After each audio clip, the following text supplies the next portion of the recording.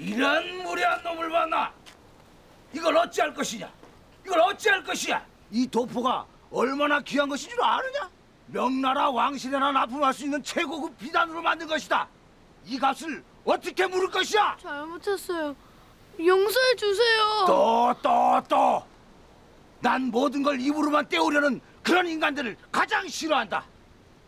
입으로 말고 몸으로 때우거라. 집으로 끌고 가서 나무라도 폐기하거라. 아주 많이 폐기하거라. 예. 아이를 그냥 보내주시지요. 행인이 많은 저작거리에서 사람과 사람이 부딪히는 일은 다반사가 아닙니까? 아이가 일부러 그런 것은 아니니 그만 용서해 주시지요. 하, 이 도포는 귀하디 귀한 것이라 물세탁이 안 되는 것이다.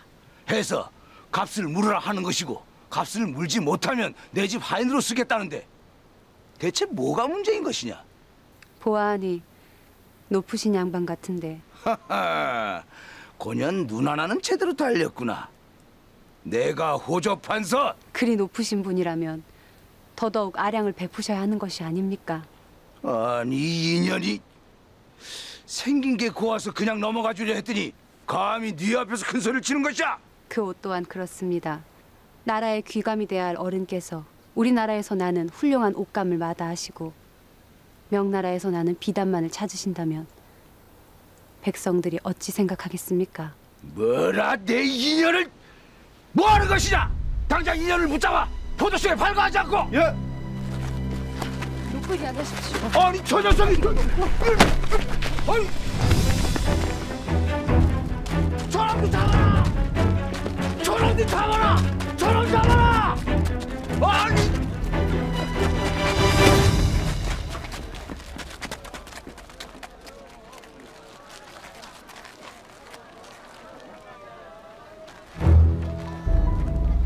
어찌 그러십니까? 주상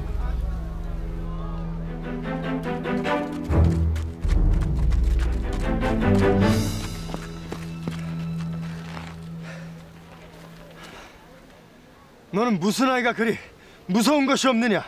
호판을 상대로 그리 직언을 하다 포도청에 끌려가기라도 하면 목숨을 부지할성 싶으냐? 허면 옳지 못한 것을 보고도 못 본 척 외면해야 옳았겠사옵니까? 그 아이가 옷을 더럽힌 것이니 물어달랄 수도 있는 것이 아니냐?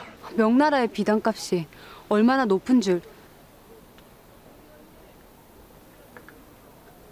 높은 자리에 계실수록 더욱 검소해야 하는 것이 아니옵니까? 그야 그렇지. 허나 대외적 지위가 있으니 품위 유지는 해야 되질 않겠느냐? 세종조의 관료 류관이란 분은 우의정이란 높은 벼슬을 지내셨지만 울타리도 없는 초가집에 사셨사옵니다. 해서 그를 딱하게 여기신 세종께서 담을 만들어 주시지 않았느냐? 신화된 도리로 그 담을 할 수는 없었기에 늘 대문을 열어두셨지요.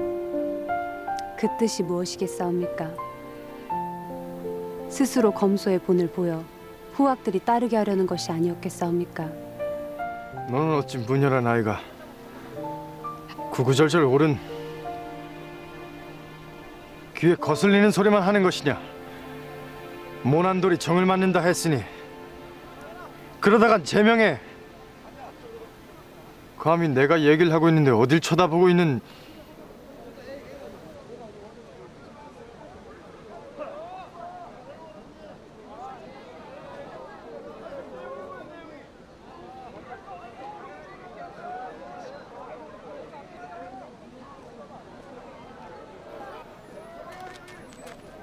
자자자 이 곁눈으로 훔쳐보지 마시고 와서 직접 보십시오. 그러다가 사팔뛰기 되십니다. 절찬리에 공연 중인 무수리의 첫사랑. 맨 앞자리가 비어 있습니다. 어떻습니까? 그냥 확 땡기시지요? 에이 너무 망설이신다. 이러다가 자리 뺏긴다니까요. 따라오십시오. 절대 후회할 일이 없을 겁니다